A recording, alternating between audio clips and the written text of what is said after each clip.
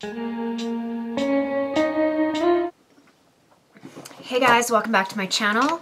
Um, today I'm going to do another soft glam look and show you how I did this with the Tickle Pink Organic Airbrush Makeup.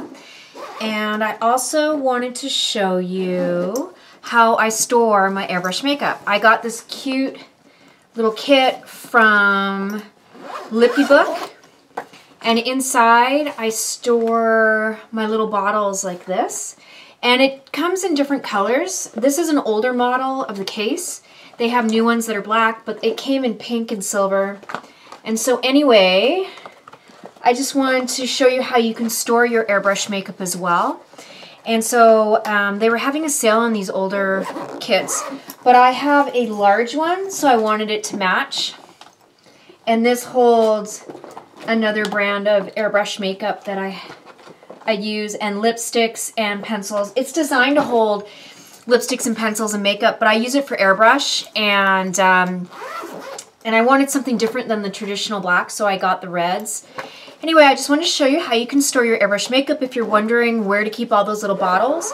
And before COVID, when I was traveling and shooting and doing hair and makeup, I was just putting these in my suitcase. You cannot take it in your carry-on um, because of the liquid, but you can throw it in your suitcase and it was fine and everything would stay put. It was so easily organized and I just keep it in this and just pull product as I worked when I set up in the hotels or my studio locations or whatever. So I just thought I'd share that and I'll put the link down below for Lippie Book and they have a new pro kit or a new Pro one that's in black and it has like plastic cases where you can throw in loose products. So that's super cool. But if you like the colored ones, they were on sale and they, I believe they came in pink, silver, gold, and red. Um, yeah, so anyway, let's get started. I'm going to show you how I used Organic Airbrush Makeup by Tickled Pink to do this um, kind of chiseled glamour look. And I also wanted to touch on what eye products work well with organic airbrush. And it's just the nature of organic or vegan or whatever uh, makeup products. Some things don't work as well at, with traditional products. So at, so anyway, what I'm referring to is eyelashes and the glue and liners. I found with a lot of the organic airbrush makeup, because it has aloe in it, uh, my latex my lash glue and regular strip lashes weren't staying on and they were eventually popping. But I found the magnetics really worked. And today I just got a pair of Kiss ones that I got at Ulta. And I got the lash glue that's black. Um, you can get it clear, I believe, and you can get it in a felt tip. But I just wanted to show you what products work with your organic airbrush makeup so you weren't wasting money and time. So I found the Kiss magnetic lashes worked and any magnetic lash should work. And the trick to it is shake the bottle and put a layer on close to the lash line. Put it, the, the lash, paint it where you're gonna put the lash so it adheres and give it a second to get tacky. You don't wanna put it on wet. Um, I put it on wet and I put it on right away because I was excited to see how they would work but I you have to give it a second and I didn't shake the bottle either. So they were popping and it wasn't the product. It's because you have to shake the, the, the lash liner put it on give it a second to get tacky and then pop the lashes on and they just kind of go right on. Like it's really amazing. You can trim the lashes as well and I didn't and I should. I started trimming them from the inner corner because I found it was less of a pain and it gives me more of a cat eye look I put the full lash on just to see, and so my inner corners were popping a little bit. So um, I will go in and probably trim these. Um, but those were little tips that you should know. So trimming your lash, letting the glue get tacky, and shaking that lash liner so it's mixed up is really, really helpful to get your magnetic lashes on and they last all day. I've been wearing them all day with the organic airbrush, which is aloe infused. So you should just be really aware that aloe infused products can cause traditional like latex glues and lashes not to adhere. So I just wanted to give you that helpful tip and show you that you can do a high glam look or soft glam look, whatever you want to call it, and do layers and it will last you all day. So another really great tip is using the waterproof sealer from Tickled Pink. That really helped to set the makeup. It's like a setting spray but through airbrush. And you really want to be uh, conscious of what you're spraying through your gun. You don't want to mix products through your guns uh, because the consistencies are different with different airbrush companies. And so that's really important to note. So I have different guns My Tickle Pink gun is for my Tickle Pink makeup, and then I have Dinair, and that's with the Dinair stuff, etc. So that's another really important point I just wanted to let you know. And if you have questions about airbrush products and the guns and just even the lashes and glues, just put them down below. I answer all of them, and I'm here to help. So let's get started. Bye! For joining me. Um, so I'm just going to go in and cover up the little bit of blemishes and discoloration that I've got going on around my chin. I've been breaking out from those masks. I know you know what I'm talking about. So anyway, I'm just going to go in with my light concealer and I'm going to go around my eyes because I want to brighten around that and anywhere there's kind of a darker skin tone that I want to just kind of camouflage. So I'm going in a little closer than I would normally go in to spray foundation just to get a little bit more of a heavier consistency, a little bit more of a spray. And I know it looks really light, but stick with me. If you've seen my other videos, you'll see how I cover it up and just kind of it blend it out. So I'm going to mix two foundations, Mocha and Frappuccino.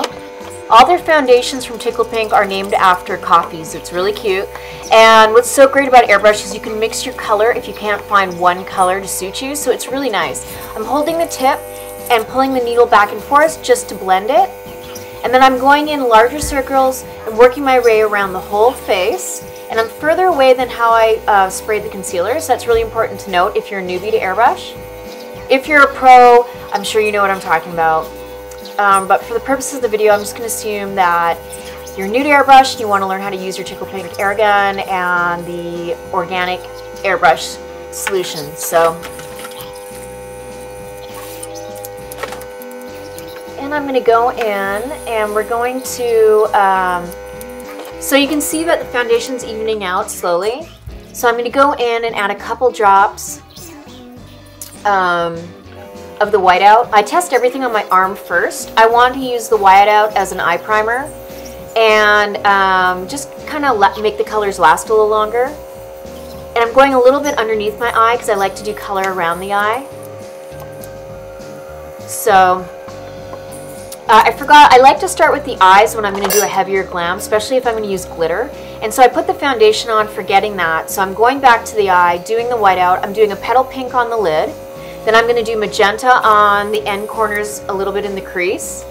And I'm only using one to two drops. And I'm going, blowing very lightly on the low mode. And if I see any kind of pilling or I've gone a little too heavy, I just take a brush and tap it out really lightly so you don't lift the color. And then I'm going to go in with Queen of the Night, and I'm going to use that as my darker shade around the corners. And once again, give those bottles a good shake. You can see I'm only using maybe two drops. I tested on my arm first to make sure everything's spraying good. And then I'm going to work my way around and kind of doing a little triangle and a little bit in the crease. And I'm going to move in a little bit closer so you can kind of see. And I got a little bit of pilling on one side, so I'll tap that out with a brush. And then I'm just blending down and around my eye. And this is great for someone who wears glasses. If you can't see, you can just do a soft kind of blend. I'm using the Glitz Fix, I hope I'm saying that right, by Tickle Pink. It is a glitter solution. I'm um, putting the solution on a tray and, and tapping the glitter and mixing it so that I can use a Glitz Fix with other colors. And I went in and I did the eye, and I just blew a little bit of air over it just to give it a chance to dry. Now, I should have taken a, white, a wet wipe and really cleaned all that glitter out because you know how it falls off really easy. But um, I had a little bit of foundation already on, and I'll go back in and clean all that up. But I'm going to do a little liner. And really, if you're going to use the magnetic lashes, I didn't really need to do the liner, but it was habit. I used the Blackest of the Black from Tickle Pink, and it comes with a little sealer. So you only need a little bit um, to really get that black on. It actually spreads really well and it's quite opaque. So it also comes in brown if you prefer a brown color. Um, but I'm also going to go in with the magnetic lashes and their liner. And like I said, I should have left it to dry a little bit longer. So I went back in after the video and I redid it, let it get tacky, reapplied them. So you may see a little bit of pop. But they do work well with the uh, aloe, so I was happy about that. And I got these ones from Kiss. They're full thick lash, and I went through all the lashes there because they're all slightly different. And I found one that was perfect on both ends. So that's just something to note you may want to do if you're going to buy them in the stores. I went to Ulta for these ones, um, but they're pretty popular, so you can get them anywhere. So I'm just cleaning out that glitter and I'm going to go in and just do a coat of mascara on the lashes so there's no powder or makeup residue left on them. And it's something I always forget to do, so I do it right when I'm doing the eye, and that way there's no way of forgetting. Okay, so we're going to go in with the magnetic liner. So you want to shake that bottle, apply a thin line to the lash where you're going to attach the lashes. You can go in afterwards and secure it even more with two to three coats. And I did do that and it really helped. And this is a heavier lash, so I felt like it deserved that and it needed it. And it really does kind of just pick it up. Now mine didn't adhere right away because I did not give it a chance to get tacky. It would have helped also if I trimmed the inner corners. But as you saw in the beginning of the video, they were on and I created a thicker line just to make them a little stronger. So just something to keep in mind when you're working with magnetic lashes, but they do work and I was really happy with the way they worked. I think I may switch to magnetics permanently because they were so handy.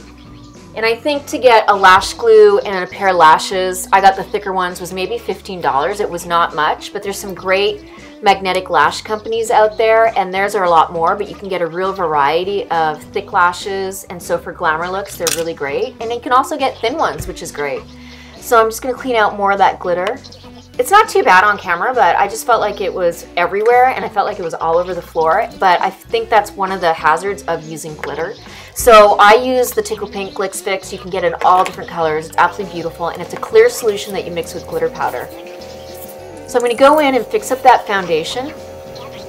I'm once again, I'm doing mocha and frappuccino. I'm, i went in with the frappuccino and just kind of evened everything out and added a heavier layer.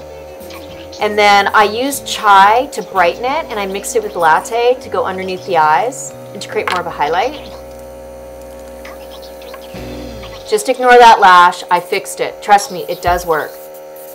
So I'm going to go in and just work on the foundation, even that out. And if you're liking the video and you're finding it useful, please like, share, and subscribe. And click the bell for notifications on my latest videos.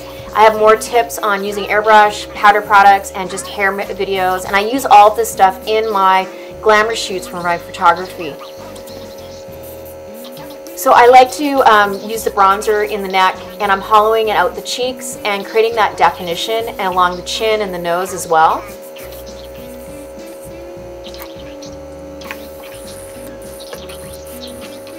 Okay, so we're also going to go in and I'm going to add a uh, highlight the diamond glow, which is really beautiful. And I'm mixing once again. Oh, actually, no, I'm sorry. I'm doing my lighter foundation underneath the eye. So I used latte and chai. And I'm just cleaning that all up underneath the eye and evening everything out. And keep in mind, this is more of a glamour look, so I'm going to do all these extra steps, especially if I'm doing it for film or a special event. But this is something you may not want to do every day, or you may. It depends um, where you are on the makeup scale of what you're willing to do and the looks you want to create. Just disregard that eyelash. I fixed it, I swear. Okay, so in between I'm using my airbrush cleaner to clean out all the colors before I use the next color. You can get two guns and that way you can just work faster, especially if you're working on clients. Now I'm going to go in and go in with the highlight. And then, like I said, I love to test everything out on my arm first, just so I know everything's spraying correctly and I haven't made a mistake in mixed colors and not forgotten to clean my guns. So I'm adding the highlight on the, the lip, the top of the cheekbone, the chin, and the bridge of the nose.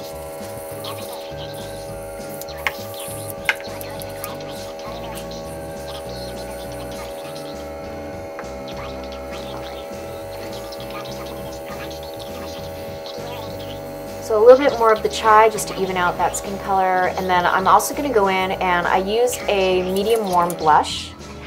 And I wanted to create also a little more definition underneath the eye after I did the blush. And sometimes I use the blush underneath the eye or in the, in the crease just a little bit to give it warmth. So everything kind of is evened out. And so I'm just blending in that blush with the bronzer and the highlight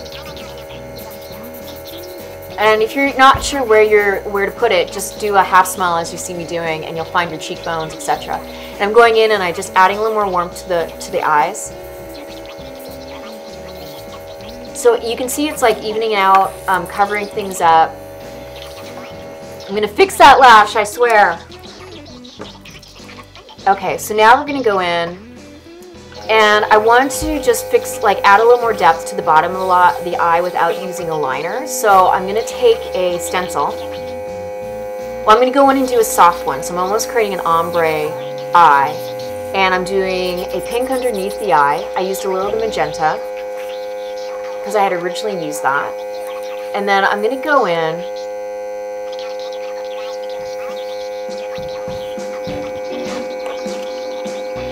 grab my stencil. I'm just looking for it now. And these are so handy to use.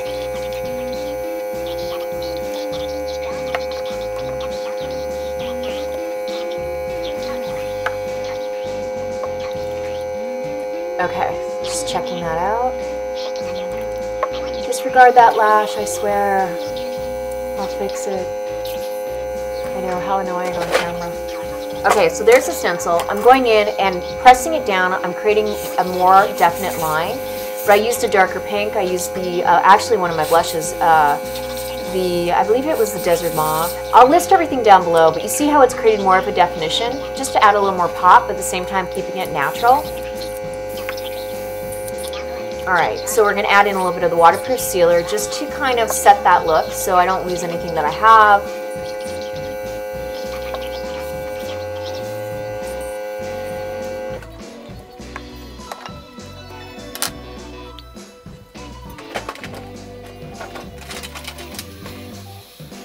Okay, so I'm going to go in and do the lip. I used some NYX pencils, the Milani Lip Plumper I loved, and um, NYX Soft Cream. I felt like the cream was a little too soft and it almost blurred out the liner.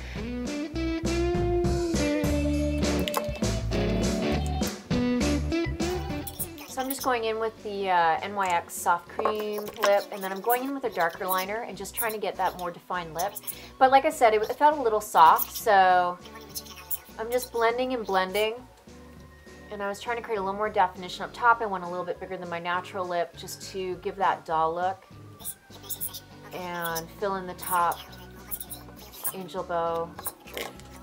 Cupid's bow, sorry. And I'm just using my Milani uh, lip plumper. I love that. It really gave it a pop. Oh, the eyelash driving me crazy. So I'm just going to go in and kind of blend it a little bit. But later on, I switched it out. I did a darker or a warmer brown and just kind of took that uh, excess wetness out and did a Kat Von D like ice pink and then did the plumper and it was like a little bit more uh, dramatic. You'll see it in the first half of the video when I'm talking, I did it. So I'm going in and just cleaning up around with a little bit of concealer and covering up a little bit of acne. I just hit my chin a little bit while I was working. Okay, so I hope you enjoyed this look. Um, if you have questions, feel free to leave them down below. Thanks so much for watching. Give it a thumbs up and a like. It really helps me out, and I appreciate you taking the time out. All right, and let's move on. I'm gonna do, oh, I'm gonna do some flawless finish. Um, so I'm just gonna bake a little bit underneath the eyes to smooth it out. I like it to be a little bit matte underneath the eye. And I'm just using a smaller brush to kind of do a triangle um, underneath the eye. Ooh, did a lot there. Just bake, bake, bake. But I definitely would do this for camera and for a special event, glam. I'm just kind of blending all that out so I can get that chiseled glamour look. So I hope it's coming across. There we go. It's soft, um, but I covered all the acne. I evened out the skin tone and it can pass for a day look. So I hope you enjoyed the video once again, and I appreciate your support.